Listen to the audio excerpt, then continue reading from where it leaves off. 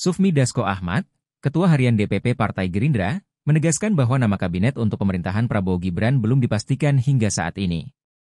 Menurutnya, secara pribadi ia belum mendengar kabar pasti tentang susunan kabinet tersebut. Pasalnya, Prabowo maupun jajaran partai politik di Koalisi Indonesia Maju masih berkonsentrasi menyiapkan agenda pelantikan pada 20 Oktober mendatang. Dasko menyatakan bahwa dalam acara pelantikan tersebut, akan ada banyak pihak penting yang hadir. Oleh karena itu, Wakil Ketua DPR RI tersebut menegaskan bahwa pihaknya, bersama dengan para pimpinan parpol di Kim yang tergabung dalam pemerintahan, masih fokus pada agenda pelantikan itu. Sebelumnya, Dasko juga memastikan bahwa Prabowo Subianto akan mengumumkan jajaran menteri dalam kabinetnya pada 20 Oktober 2024 setelah pelantikan. Download Tribun X sekarang, menghadirkan lokal menjadi Indonesia.